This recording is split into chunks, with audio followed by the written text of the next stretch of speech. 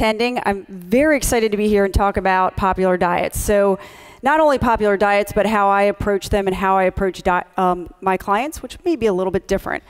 As you can see, if you look through the book, I turn my slides in very incomplete. So, I'll ask NSCA to um, incorporate these after today. And if I can't, I'll give anyone my email, I'll put them on my website, or share them with you however I can. So, first, what I'm going to cover today Diet 101, um, defining your client's goals, primary goal. Some of the popular diets, I'm going to spend a considerable amount of time on the ketogenic and low carbohydrate diets because I don't know about you, but I'm hearing about these all the time. And then intermittent fasting, a little bit on whole 30 um, if it fits your macros, and flexible dieting. And then I'll briefly cover a couple other popular ones. But honestly, there are so many diets out there that it's tough to keep track. Um, and you know this as well. Anytime you go into a bookstore, they're best sellers. You know, how do you lose weight? Most of America is overweight or obese. People are looking for that quick fix. Um, and they want something that's exciting and novel, right? It's boring. Weight Watchers, Jenny Craig, counting calories. Been there, done that. Give me something new. Give me something I've never done before. And the thing that I always hear from clients is I'm tired, I don't want to think, and in my interpretation, I want to control something. So, for instance, I had a, uh, one of the coaches I work with recently come in and he said, You know what? I take care of people all day. This is what I do. I don't want to think about nutrition. And he knows quite a bit about nutrition. He goes, Marie, I want you to write me a plan. I'm going to follow it. And I said, Okay. And he's pacing around the room. And um, my interpretation of many clients is you know what? I've got so many things going on in my life, and I can't control what's happening here. I can't control what's happening in my job, with my spouse, with my kids, my one child who's out of control. So let me fixate on these dietary variables. And this is a method to calm my anxiety down and control something in life. So I'll tell you how I handle this in a little bit. Um, with this particular coach, what I did is I actually wrote down a schedule, uh, went through his sleep patterns, went through eating, etc. And I thought, you know what? People need schedules. Some of them they do better. Um, most people are not going to follow exact meal plans. Some will, a lot won't. But I actually put in a bedtime schedule, a bedtime routine, and different times to eat because he was kind of snacking throughout the day. Because again, I knew that he needed something to just kind of calm down and something to go, okay, this part's taken care of. Let me take care of these other parts of my life.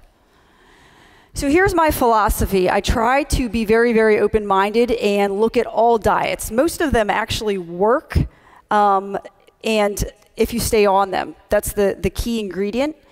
If you look at all the studies, they always hammer home adherence, adherence, adherence. It doesn't matter what the person ate, as long as they cut calories and they adhere to it, they lose weight. But of course, many of these diets are not nutritionally sound and they're not so socially convenient. We'll go through those. So, who here is a strength coach? Somebody raise their hand. Okay, Melody. What if I said, you know, pick one of these? You can only train your clients on one piece of equipment. What would you choose? Probably the barbell. But it's a stupid question, right? I mean, who sits there?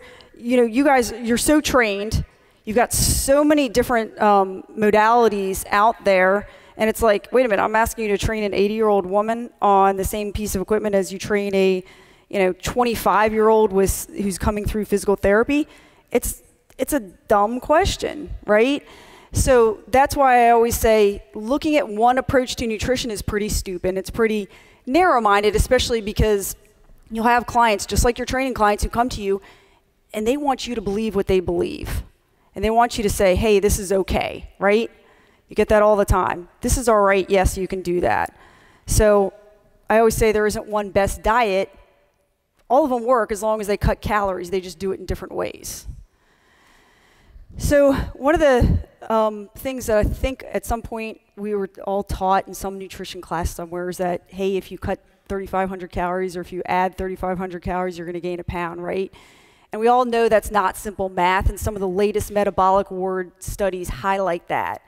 Um, but obviously, if you're losing weight, the body's going to adapt. You lose quite a bit of weight, even if you don't lose any lean body mass, your metabolism is going to slow down. So you need fewer calories to maintain that weight and even fewer calories to continue losing weight. This is a hard concept for clients to get, right? It's not simple math. You can't just cut things out. It's not that 1980s Weight Watchers approach. So next, I always say, who are you? And I kind of divided these into different groups, but um, sometimes I think clients have trouble figuring out who they are and what they want. And I work with mainly male athletes, and so oftentimes they come in and there's this conflict, and I'm saying, okay, do you want to be a football player? Do you want to be a GQ model? I'll help you with either. It doesn't matter to me, but just tell me what you want to do. Do you still want to stay in the NFL? Because they're doing things that are contradictory toward, hey, I want to be a better tight end. Hey, I want to be a better offensive lineman. Well, how many offensive linemen look like that? So I think as um, practitioners, we need to help our clients figure out what they are really, truly after. And that takes a good conversation and getting to know them. So, first and foremost, low carb and ketogenic diets. Ketogenic diets are always low in carbohydrate. Low carbohydrate diets are not always ketogenic. This is confusing, and I'll talk about this um, in the research as well. So, for over 100 years, they've used ketogenic diets to decrease the severity and the incidence of seizures in epileptic patients. It's very, very effective. If you comb through the research studies, all of the scientists will say, we don't really know why it works, but we know it works. And in recent years, they've actually started to use this uh, particular diet post concussion or post traumatic brain injury. Um, concussion being one type of traumatic brain injury. So they're actually thinking about it when stroke patients um, and other traumatic brain injuries. And hey, can this decrease the damage to the brain? And can the increase in fat, particularly omega 3s, actually help heal the brain? But this diet, here's the key point it's 80 to 90% fat, it's about 15% protein, and 5% or less carbohydrates. So you're eating mayonnaise, heavy cream, uh, really fatty steak with cream on top, maybe, maybe some green leafies. Obviously, no high carbohydrate foods, no fruits, um, a lot of vegetables, starchy vegetables are out, uh, none of those particular foods. So, why on earth would you take a diet that we know is effective for epilepsy and say, hey, let's make this into a weight loss diet, right? Especially because it's hard. Who, who in here, does anyone in here, has anyone tried the ketogenic diet? Did you stay on it for long? Three months, okay. That's pretty impressive. But it's a tough diet to stay on, especially because, you know, if you talk to your clients, each of us has particular food likes and dislikes or, you know, things that are palatable and things that are not palatable. Some love the high fat, some don't. But Here's a theory limited glycogen supply, 500 grams. Um, that number is all over media articles, even some research articles, and I spent over an hour trying to find where this 500 grams came from. Went through the references, and there's nothing. And um, you know, there's no this. There's no actual reference for this. But the theory is, hey, we don't have a lot of glycogen. We got a lot of body fat. Even somebody with 4% body fat they can run several marathons back to back without running out of fat. So why don't we use that? Why don't we spare the glycogen? And if we don't have to rely on carbohydrate, that means you know, beans, gummies, bars, gels, less GI distress. Plus, you're cutting calories while you're exercising. And let's face it, most people that um, you know, are out there exercising are not competitive athletes. They just want to lose weight, look better, and, and improve their health, right? So that's the theory. But in, in looking for a reference for the essentials chapter, here's what I found. We can actually hold about 15 grams per kg body weight in liver and muscle of glycogen. So our glycogen storage capacity is actually higher if we eat a high carbohydrate, if we fill that capacity. So in a 215 pound man, I calculated it out um, about you know close to 6,000 calories of glycogen. That's if he eats enough carbohydrate and fills his capacity. Um, but of course, you know, if you start, we all know if you start to decrease some of that glycogen, strength and power go down, performance goes down, sprint speed goes down, person gets fatigued. So, glycogen plays a role in athletic performance and, of course, exercise and training. So the first several days on the ketogenic diet, you're going to feel like garbage, right? Um, tired, headaches, grouchy, mean, if you've ever been around somebody, um, once you start to dwindle those carbohydrate stores. And it takes about seven days to actually go down in carbohydrate and then start to rely on ketones from the breakdown of body fat, and about a month to fully adapt to this. So it takes a while, and you have to stay on it, to fully adapt and be able to exercise and function on it. Some of the good, you're going to get immediate weight loss. So people go, you know what? Man, this diet works. I just lost X amount of weight it's from water, it's from glycogen. Glycogen stores three to four times um, carbohydrates weight in water in the form of glycogen. But, you know, they just step on the scale and go, whoo hoo, I lost a lot of weight, I feel good. Food choices are pretty easy. So I'm seeing a surge in these diets where there's no weighing, measuring, it's just eat it or don't eat it. I don't have to learn anything, I don't have time, I don't care about all this. It makes it easy, right? There's a reduction in some markers of inflammation. We don't know what that translates to, right? Um, bad part is adherence is hard. Low in fibers, you're going to get constipation. Every doctor who prescribes this diet to epileptic patients, they give them a fiber supplement, a multivitamin, usually potassium and sodium. Uh, several vitamins and minerals are um, in short supply calcium, vitamin D, iron, etc., folic acid. And as soon as someone stops, they're going to gain weight immediately, of course, because they're, uh, they're going to uh, store more glycogen. So they're going to increase their weight right away. Other questions which I have not seen um, really covered in the literature and or, or studied right now, but how does this diet affect gut flora? If we don't have tons of fiber in our diet and we're taking a fiber supplement, are we getting enough prebiotics and are we getting any probiotics to increase our gut flora?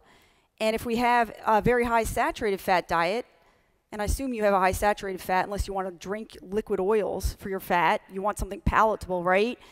Um, that's going to affect, the, that's going to really change your gut bacteria. And if you listened to the talk yesterday, that's a great way to get leaky gut. It's a great way to um, loosen those intestinal um, gaps within our intestinal lining. And what about free radicals? If we don't have a plethora of colorful fruits and vegetables in our diet, are we really decreasing oxidative stress, especially if you have someone out there exercising, increasing oxidative stress? I don't know. Hasn't been covered in the literature. And the first, um, immediately almost, your total cholesterol and LDL will go up. These studies have been done in epileptic patients because those are our long term research studies. And this resolves in about six months. Also, artery stiffness will increase. So if you think of anyone with high blood pressure, you're making the arteries more stiff. It can't accommodate that blood flow. Blood pressure is going to go up, right? It takes about 24 months, a whole two years, for that artery stiffness to resolve. Or, of course, if you come off the diet, it will resolve. So here's the biggest issue with ketogenic research studies and some of the magazine articles.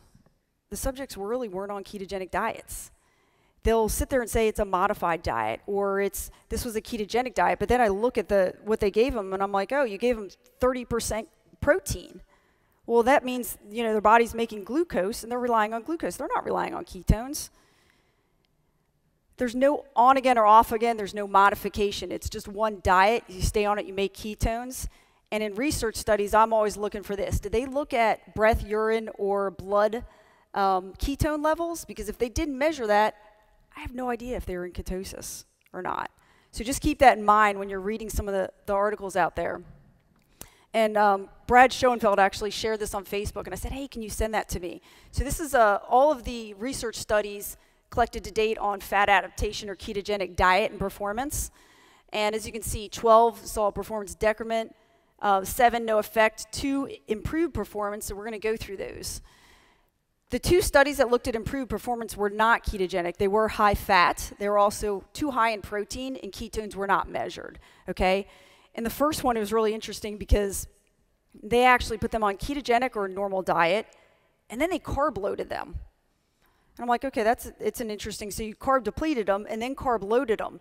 This has nothing to do with fat adaptation. This is more of a carbohydrate loading study, right? And after loading them, they put them through 150 minutes of a time of uh, exercise, and then they did a time trial um, right after that. And they found that there's increased reliance on fat, decreased reliance on glycogen, improved time trial performance in the, hey, I'm going to eat a lot of fat, and then I'm going to carb load group. And the next study, this was a two-week study, and they uh, gave them high fat or a high carb diet and consecutive periods of cycling, no ketone testing again, improved time to exhaustion, but they were looking at a very low intensity exercise. So that's another issue with some of these studies. The intensity is so low, and we know that the lower intensity, the more fat you're going to use. The higher intensity, if you're out there, if you have any athletes, basketball, soccer, um, you know, running, sprinting, number of different sports, they need carbohydrate, right? They need that fast source of fuel, and they have to access that to, to keep that intensity up. Fat's a slow source of fuel. So if you go back to that study, 60% VO2 max, that's pretty slow intensity. So as I always put this in context with my athletes that come in, they're like, oh, I want to go on that high fat, high protein diet. I'm like, you know what? Do you want to ride a bike from the suburbs down to the city? Or do you want to ride a sports car? That's the difference. Because you can go this speed on um, fat, or you can go a heck of a lot faster if you fuel your carbohydrate stores. Here's another study, an older one of the classic studies on this by Steve Phinney, and it was, was a four-week study, and they put them on a ketogenic diet or control diet. And again, it was a very slow pace, so they were in that fat-burning zone we all love. That's still plastered at all LA Fitnesses, but um, and there was no difference in cycling time to exhaustion. So the author said, you know what, ketogenic diets, they're the exact same as normal diets. We can do them. Well, you can. If you're walking or doing low intensity exercise, that's fine. Same with high fat diets. So again, no performance improvement. Um, weight loss, again, burning fat versus carbohydrate during exercise. I don't really care. I want you to burn more total calories over the day. That, again, that's that old fat burning zone. I know you guys are, are tired of hearing about that. But it's obviously re recycling because I had a reporter just ask me questions about it. I'm like, oh my gosh, this is still around. Um, burn more total calories, and in the interest of time, we know we want to ramp up the intensity if your clients can take it to burn more calories in that session. Get them in, get them out, ramp up the intensity um, of their exercise if fat loss is their goal. Now, this study, and this is best study, in my opinion, on this right now, and it just came out last week, so I'm pretty excited about it. It's a metabolic ward study done by Kevin Hall. If you don't follow him, follow him on Twitter, check his research out. He's at NIH. So the best thing about this is he can control all variables, right? He's giving them their particular diet and then testing what's going on. He took 17 overweight or obese men, put on four uh, week high carbohydrate baseline diet followed by a four weeks of an isocaloric, same exact calories as the high carb diet of a ketogenic diet. Compared with that baseline diet, the ketogenic diet increased calorie expenditure during the day and sleeping a little bit. Um, body fat slowed, and it corresponded with an increase in protein use and a decrease in fat free mass, so they lost some lean tissue. No change in body fat whatsoever. So here again, ketogenic diet, is it good for high intensity exercise? No. Long endurance exercise like the ultra marathon? I'd say possibly, possibly, maybe. What about for strength? You know, is this the diet we want if we want, if we want to um, increase strength and hypertrophy? So I calculated out some of the uh, macronutrients. And here's what, if you're on a 2,000 calorie or 3,000 calorie diet, we know that we have to have a higher amount of total protein during the day, and we need protein every three, four hours if we really want to maximize hypertrophy, right? So if we look at these diets, the only one that would possibly come close is a 3,000 calorie diet on 1.6 uh, grams per kg. So not enough protein in most instances. And again, everybody's um, response to this diet is different. So even on you know, this amount of protein on 15%, this person might not produce ketones. They might not be in ketosis. I don't know. You have to measure. Also, it decreases, um, the, the biggest thing about the ketogenic diet is it decreases that mTOR pathway. It decreases the signaling pathways we need for muscle hypertrophy. So Not a great diet if you want to um, increase hypertrophy or if you have any of those older clients that want to delay or decrease sarcopenia. So, what is it good for? Hey, it's good for epilepsy. Um, ultra endurance athletes, maybe, if they can stand the diet. Uh, people who love to eat a lot of fat and, can, and don't really care about carbohydrate, again, what does it do to gut health? I don't really know. Research doesn't say. Who's it not good for? Obviously, high intensity athletes and people who, who care about social eating and eat out and want to eat what their family eats. Now, what about the low carb diet? Any clients, anyone's clients still coming in asking a lot of questions about low carb? Okay, I hear about, not many people raise their hands. I hear about this all the time. So, initially, in that first six months, according to the research studies, and of course, many of these research studies were done on overweight and obese adults, but in the first six months, it may lead to greater weight loss, actually. By a year, both diets are the same high carb versus uh, um, low carb. In diabetics and those with insulin resistance, and sometimes, sometimes if I have anyone with insulin resistance, which is rare, it's like a family member or somebody, I might put them on a low carb diet initially just so they see it, that initial weight loss and they go, oh, I can stick with this. It's working. It's water weight, and I know that. But for those who have um, diabetes, insulin resistance, or you know they think they're carb intolerant or anything, it doesn't matter. They can go on low carb, they can go on higher carb. As long as they cut calories, they're going to lose weight. Study after study shows this. So some of the low carb research. This is a recent meta-analysis looking at, um, you know, what is if somebody's on this diet for over a year and they only found 13 um, good studies that they could add. What what are the results, right? And they put them on, they looked at low fat, low carb, high fat, or what I call the normal diet. They ate whatever they wanted, right? Instructions ranged dramatically. They ranged from, hey, it's, uh, we're giving you all the food, to we've got a dietitian doing counseling sessions. And we know, and you all know this, that compliance, you need that regular check in, right? You need that regular counseling. They need to come to you, they need to talk versus you giving them a program and going, okay, go on your way. It's better if they come in and train with you. Same thing with diet. So in 35 uh, weight loss trials, again, uh, the first one they looked at 13 trials. The second one, the first one, low-fat diets were better than a normal diet. So this is what this study showed. If you put them on a low-fat diet, it's better than not putting them on a diet. Kind of obvious. Then they looked at 35 weight loss trials in overweight, obese, and those with type 2 diabetes, and they found no difference between the low fat and the high fat diet, or low fat, low carb diet, I should say. The low fat diet was better than not dieting. Again, kind of obvious. In a subset of the data where the diets were varying by more than 5% of calories, they found that the low carb diet won out by a whopping 2.2 pounds. Can you imagine telling someone that's 100 pounds overweight, hey, you're going to lose 2.2 more pounds on this diet? And you have to stick with it, and you can't eat any of these foods that you love. That's kind of a tough, tough thing to hold, handle, right?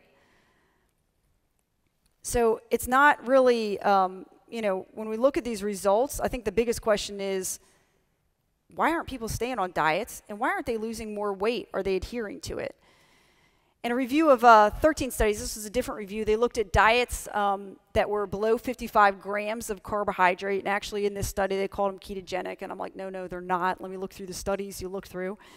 Most studies did report a decrease in lean body mass. Few reported that it increased or there was no change.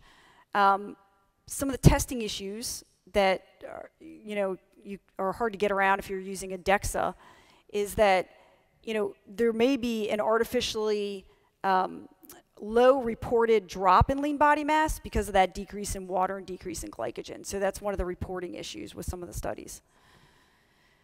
So uh, another great study by that group at NIH, Kevin Hall. This was a metabolic ward study. They took 19 obese adults. It was a crossover study, so they placed them on both diets, right?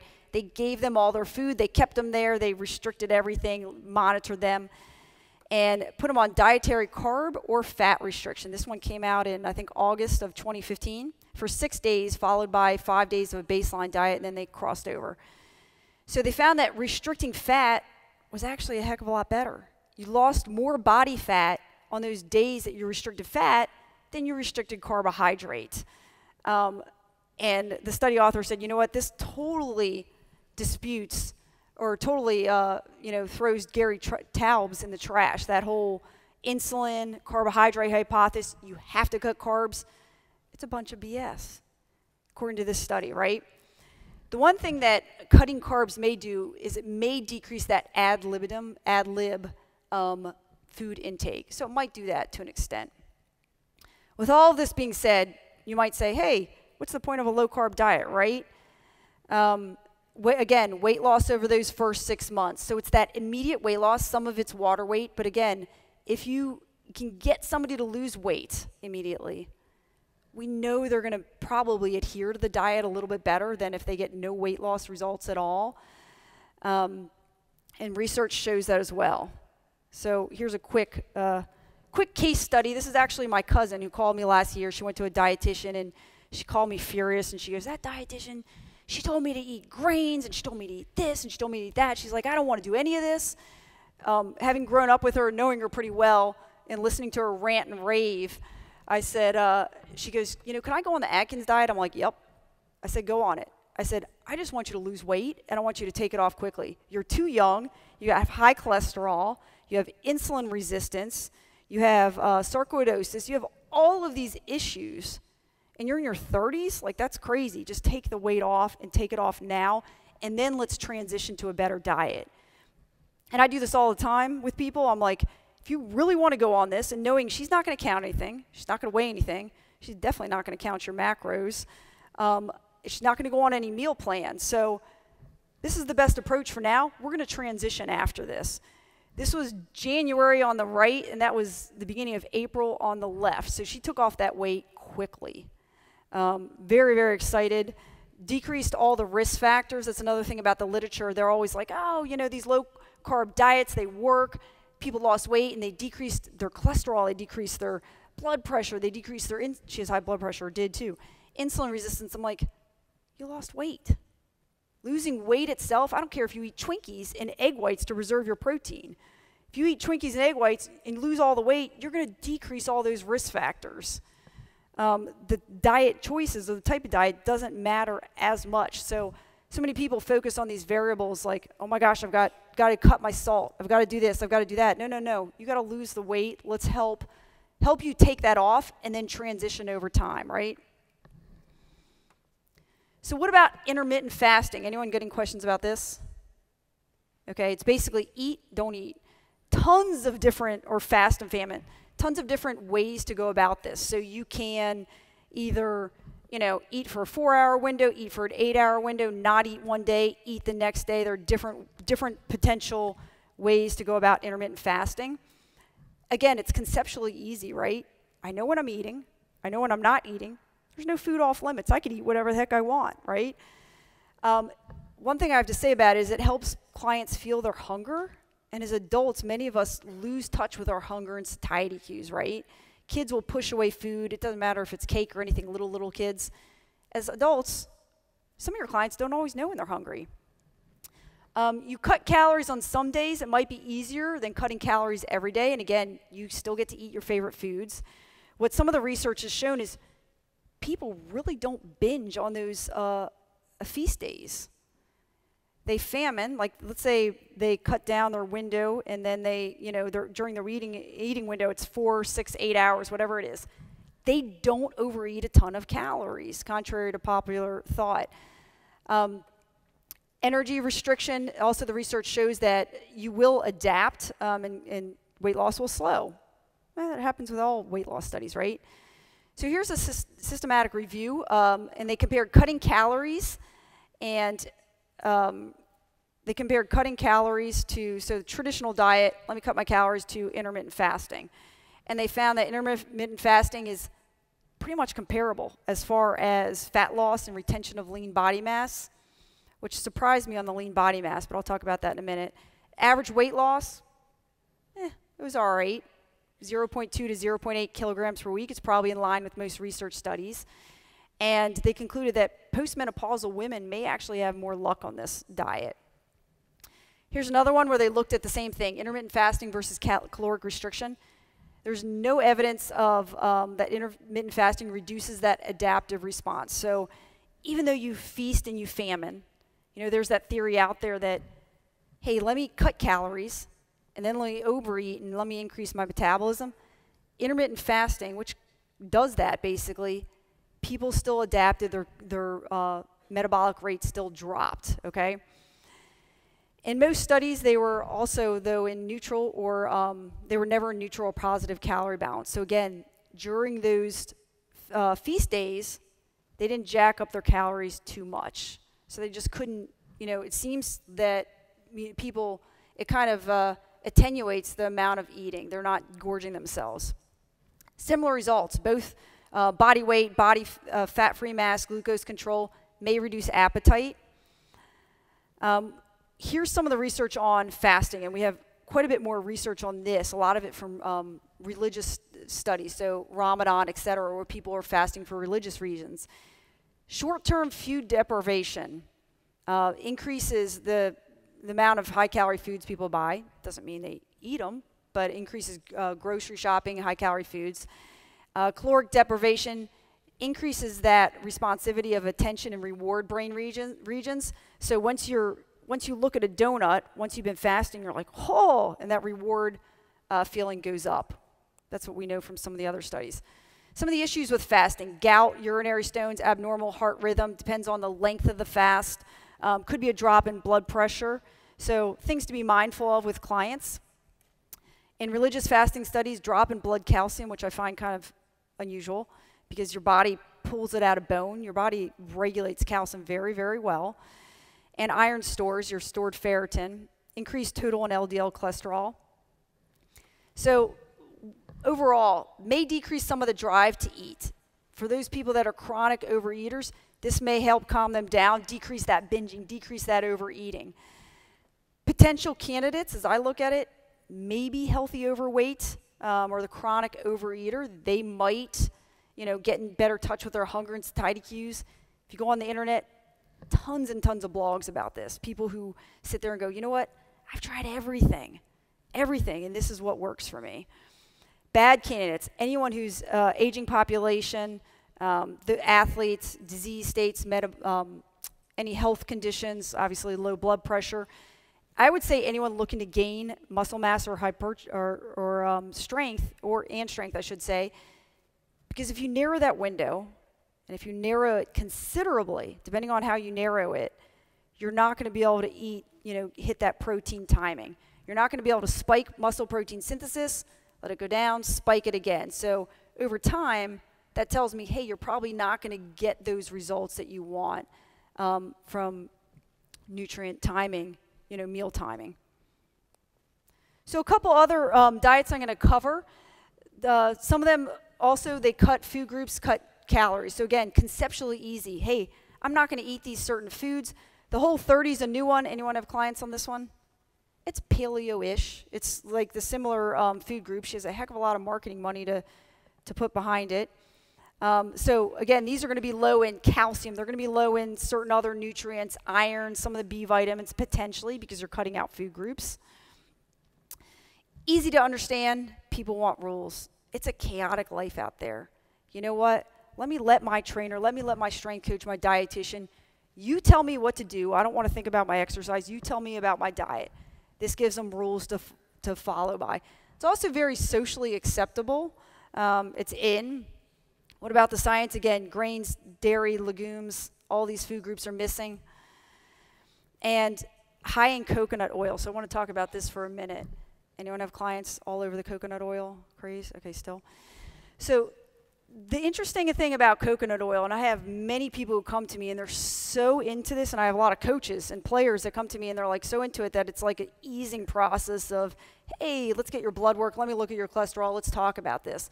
So, coconut oil and medium chain triglyceride oil are two different things. The studies on medium chain triglycerides look at 8 and 10 carbon chains. Coconut oil is about 60 something percent, 12 and 14. So coconut oil has, I always hear, oh my gosh, it's not going to cause heart disease, it doesn't drive my cholesterol up. Well, yeah, actually it is. And the studies show that. this has the fatty acids in it that increase cholesterol, increase total, increase LDL cholesterol. So again, these two are not different. The, the studies showing, and what they use in hospital settings are MCTs, totally different array of fatty acids. So coconut oil is not exactly what we want. Saturated fats, what about them? This is another myth I always hear. Oh, you burn more calories eating saturated fats. Actually, you don't. You burn a few more calories eating monounsaturated fats, but not saturated fats. Saturated fats, again, they contribute to that leaky gut.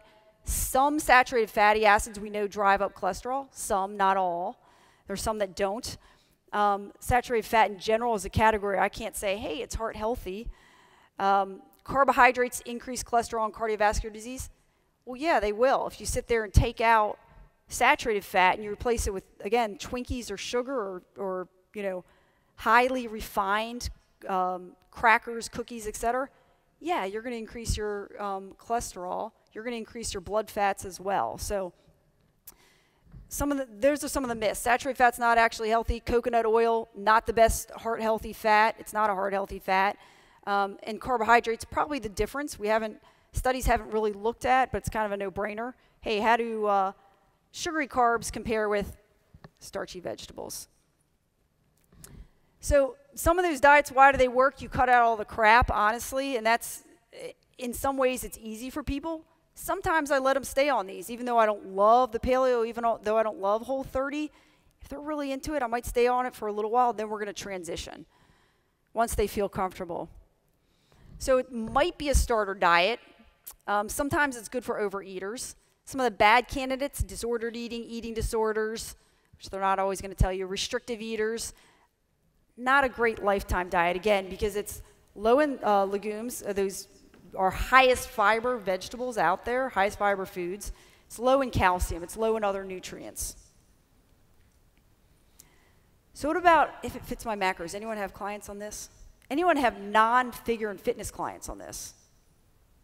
Whoa, okay, interesting. This to me is similar to Weight Watchers. It's similar to counting calories because you're counting something.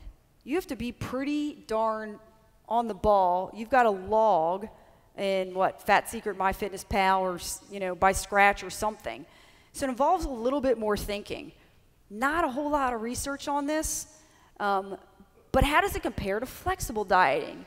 So there's a brand new um, study just uh, presented a couple weeks ago at ISSN, and it was abstract form by Bill Campbell's lab. He's speaking later today, and they looked at, hey, you know the traditional and you see this all over Instagram and Facebook, right? Hey, I'm meal prepping. I'm eating the same thing every single day, right? This is the traditional way to go about it. Any magazine, you pull up magazines from years past, um, and you can look, and all their diets are the exact same. I'm like, you're paying for this? You could just look at Muscle and Fitness and it's hers, and it's exact same diet published year after year. But that's the older approach. That's the newer approach. Can I fit this in my macros? Can I eat a donut? What can I do? So again, Dr. Campbell's lab looked at this. He took 27 resistance trained men and women. What I love about this is they were actually resistance trained versus many studies out there. They're sedentary. They haven't lifted a weight in their life. They haven't seen the inside of a gym in their life, right? About 25-ish. He took some college students. It was a 10-week diet phase followed by a 10-week post-diet phase. So what he was really looking at is, hey, what happens when you diet? Because usually people don't, I don't know about your clients, everyone that raised their hands, but usually you don't stay on this, right? You go on this for a period, you do your photo shoot, you do your competition, right? You're laughing.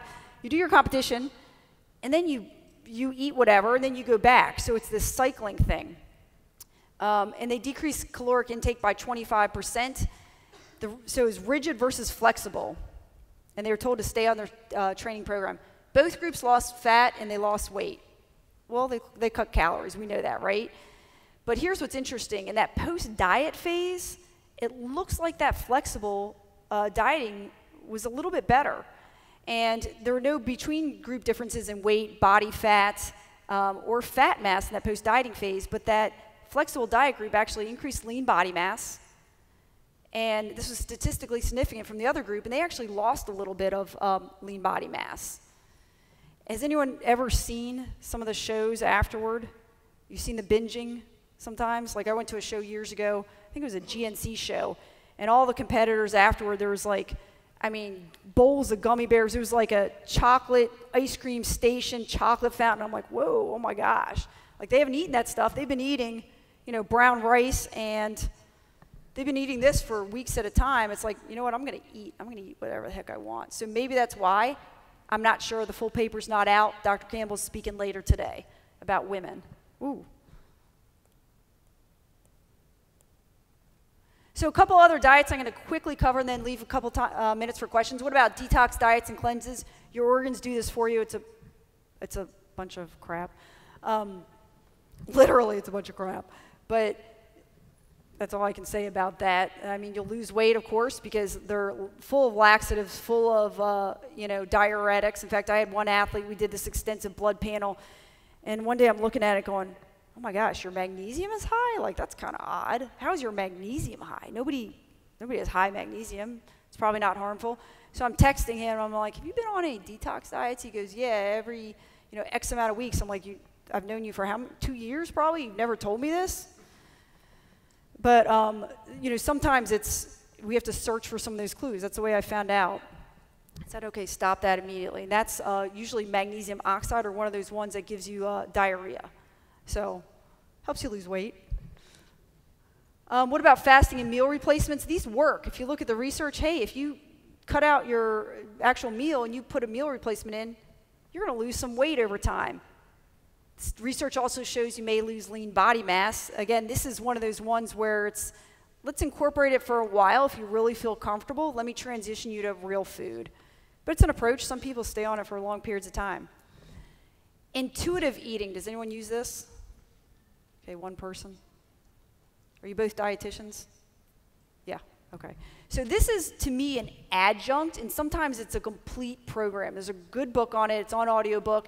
Intuitive eating is basically, hey, learn to feel your hunger, learn to feel when you're full, and stop overeating. Makes sense. It also goes through a lot of body image exercises. In fact, she has worksheets. The people who develop this, they have a number of worksheets. So if you work with anyone with eating disorders and body image issues, check it out.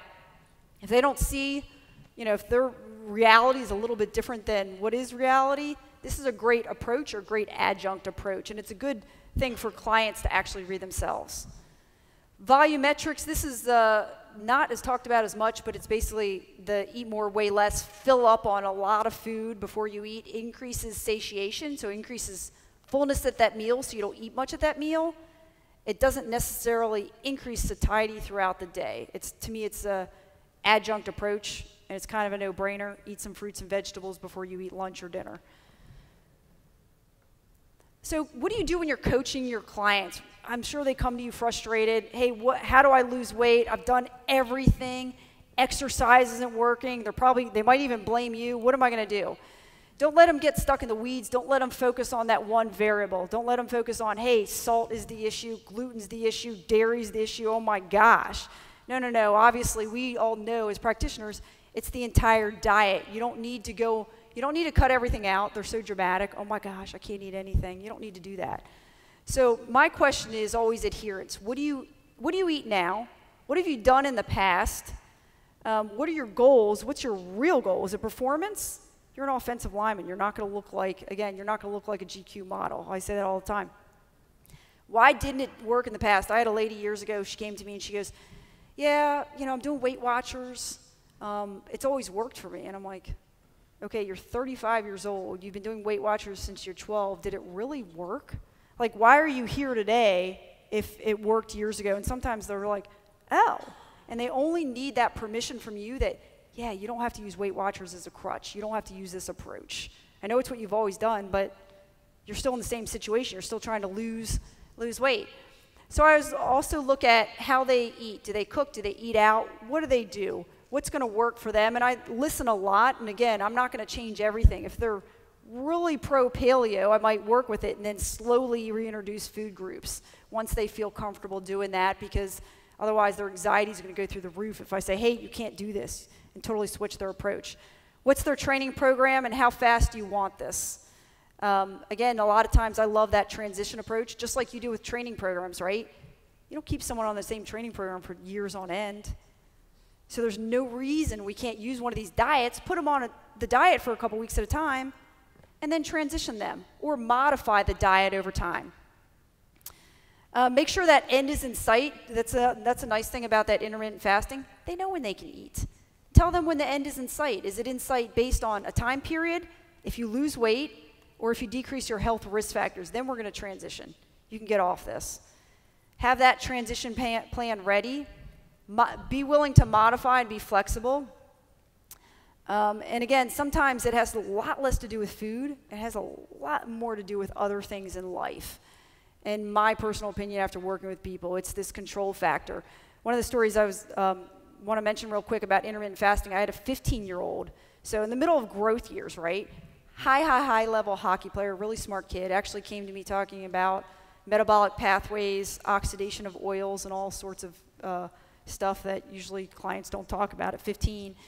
And he uh, lost his grandmother two years prior. She was always in the hospital. So he went through this period. During that time, he went from 5'7, I think he was 140, some, upper 140s to 123 very quickly, right? He, mom was going back and forth to the hospital, no dad in the picture. He um, showed me his foods. Oh my gosh, I'm not going to eat this. And I can't eat a grain, and I can't eat this, and I can't eat that. Plus, he's doing intermittent fasting, right? Going to high school, straight A student but stressed to the max. I go through everything with him and I say, you know, I'm not going to take you off intermittent fasting right now, but I, I do want you to work on your food groups. Because again, it's like I can't change everything at once. This is a disordered eating slash eating disorder case. Um, and again, it's this control, anxiety, stress through the max, IB student. What do I do now? So this is a transition over time. Sometimes I'll let them, and then I'll work with them over time. And of course, with him, I'll refer to a psychologist. So I always say be open minded, read uh, everything, follow the experts, read everything that's accurate. I stole this uh, quote from Eric Rawson because I loved it. But be open minded about nutrition just like we are about training. And sometimes allow your clients to do things that you know is not, they're not totally accurate. Like the paleo, obviously, it's not scientifically accurate, and some of it is complete garbage, but let them do some of these things and then transition them, work with them over time. And all my references, again, I'll have NSCA add this, hopefully, or I'll add it, and um, all my references are at the back. Does anyone have any questions? Yes.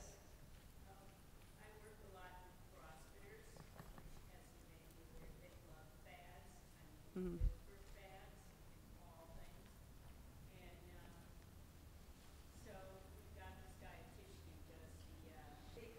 So her question is, are the macro diets like the exchange system? And I'd say they're pretty similar. I think the older exchange system was, I think, always 15% protein, whereas the macros, obviously, you can vary. But it's honestly a similar system, right? You're counting something. And uh, diabetics have used exchanges for years. They've used carbohydrates. Hey, you've got a, you know, one carbohydrate exchange is 15 grams. So it's similar, but it's, it's newer, it's packaged nicely, so it's exciting to people, to be honest. Any other questions? Yeah. Yeah, I have a question. Improve their blood marker, whatever. That's a great question. So uh, he basically asked if you didn't hear an offensive lineman. Some of the sometimes you can't have them lose the fat because if they lose fat, they're um, you know they're going to be below their weight. And we know from the research if you're um, in football players above 250, it's really hard to gain that lean body mass. So do they have uh, altered like increased health risk? And yes, they do. I've got 23 year olds with high blood pressure that are very good NFL players and terrible blood lipids and high A1C.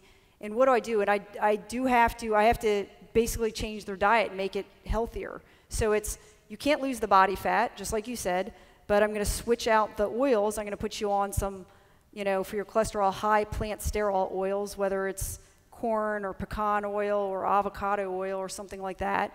Um, we're going to cut out the butter, coconut oil, et cetera. You're going to have to do, the tough part is they have, high, they have to do high calories. So honestly, I do give them quite a bit of fat because I know if I sh shove sugar down their throat throughout the day to get the calories, their triglycerides are going to go up, right? But that's a really tough one, and um, a lot of times I've found the blood pressure doesn't really resolve unless they lose weight. We know that salt sensitivity affects a certain percentage of people, but that's not the absolute cause of high blood pressure, and weight's a huge factor. So I do, I manipulate their diet. Um, better quality oils. I'll cut down on sugar later in the day, but I'll overload them on honestly, I'll give them like nut butters and stuff because you'll gain, you'll absorb more of the calories from whole nuts um, than, than whole nuts, I should say. Um, my time's up. And, but I'll, I'll, I will do that. Any other questions? I think we'll have to take them in the back because uh, I'm getting kicked out. Thank you for coming.